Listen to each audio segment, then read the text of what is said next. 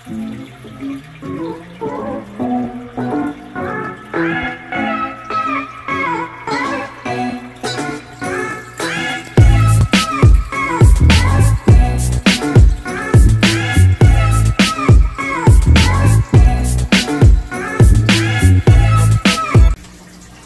going on?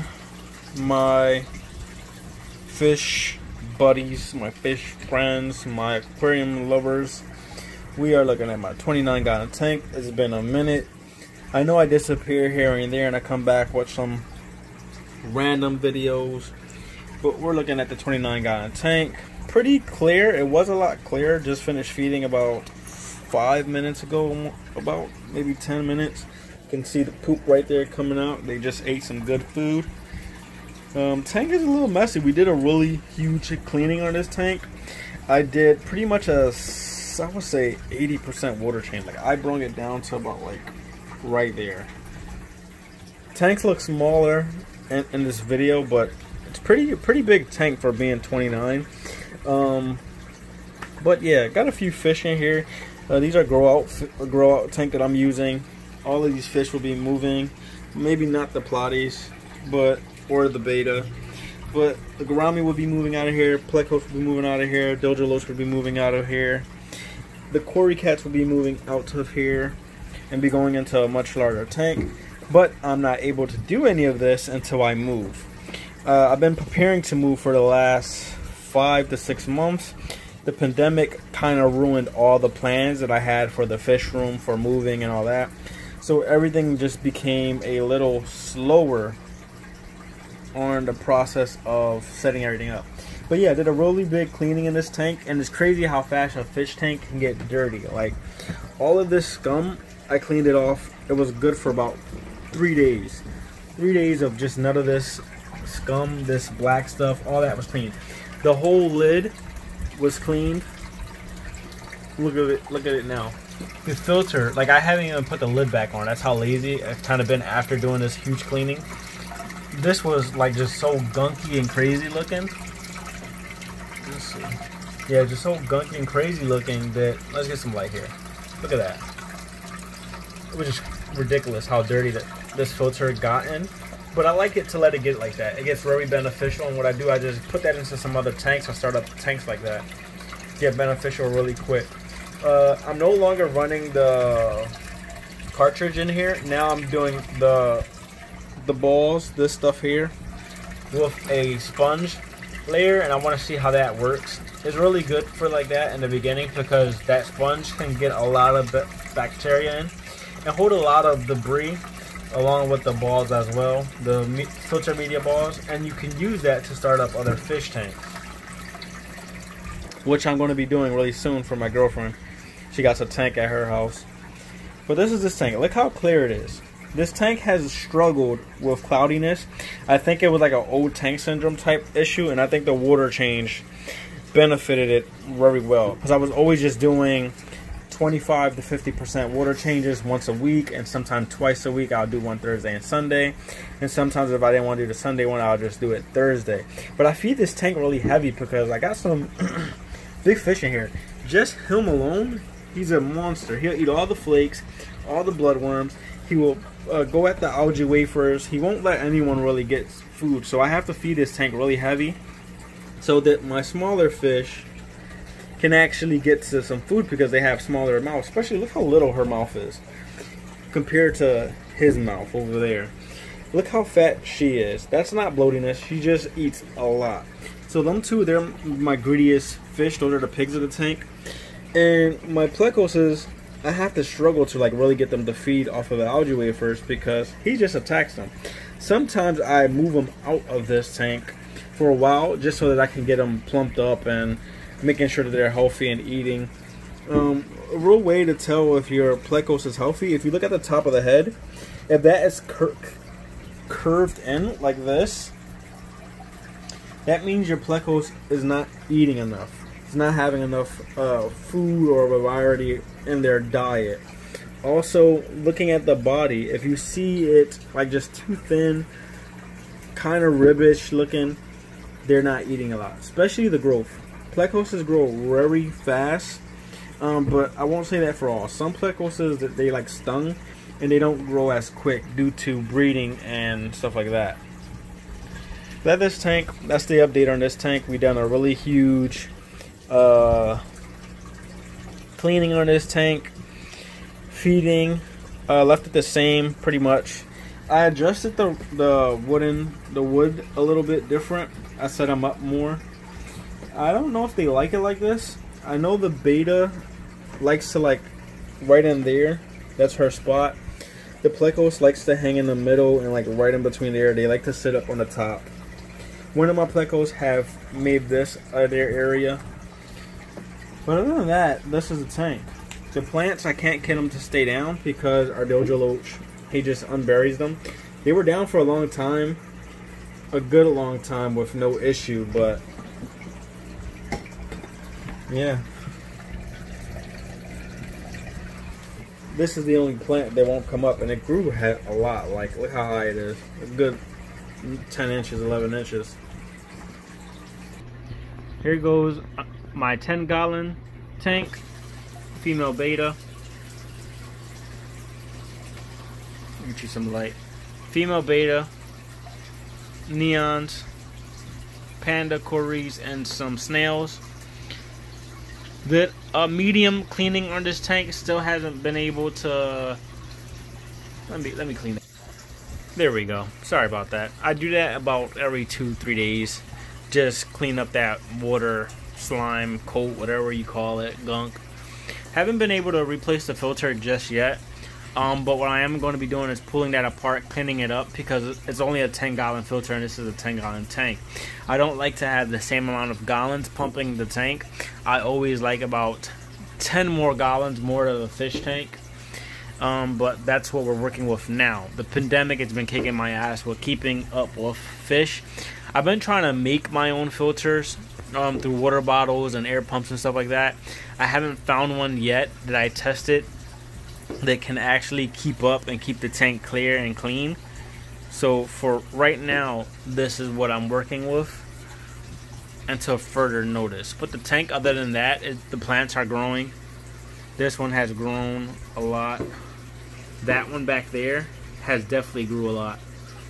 These ones up in the front. This one's dying off a little bit, getting a little yellow.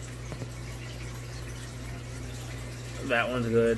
I don't, don't want to say dying pits. It still looks pretty green. It's just that one little leaf I got to rip off. There's not much of an update to this tank. The last video I shot was about the betta. Was about the betta um, with her illness and going blind. I actually think um, she gained a lot more vision from that eye that I thought was blind. Uh, the bloatiness kind of went down. That weird bump that you see right there is still there. I don't know what it is.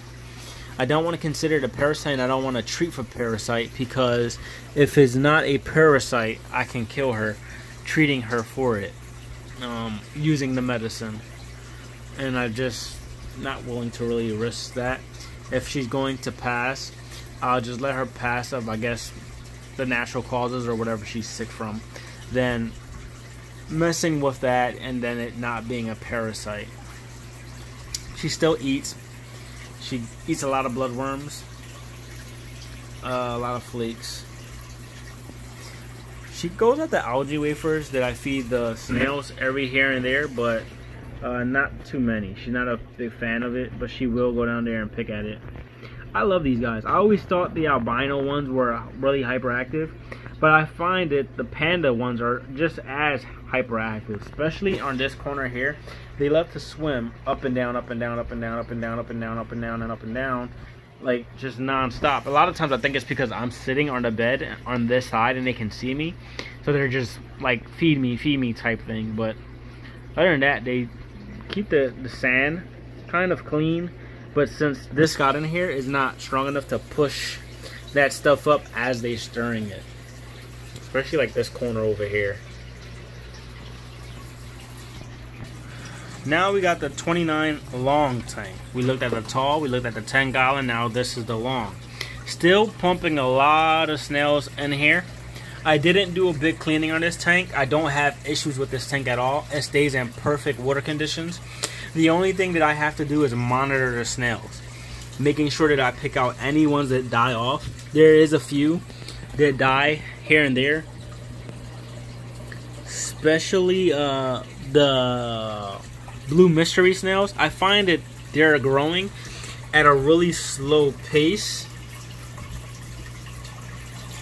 That they grow at a really slow pace and they struggle to get to food. Uh, unlike the yellow golden snails, which get to the food very quickly.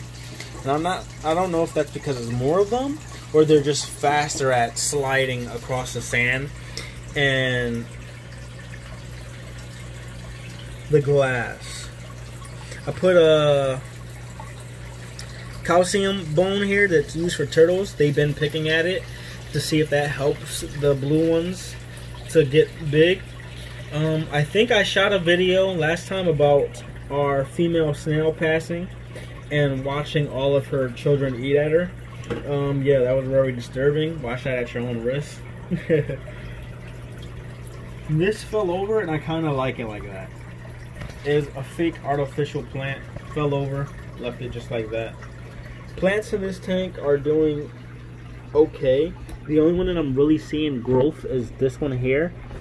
And the one back there is shooting off a lot of little littler ones that are finally getting some actual leaves.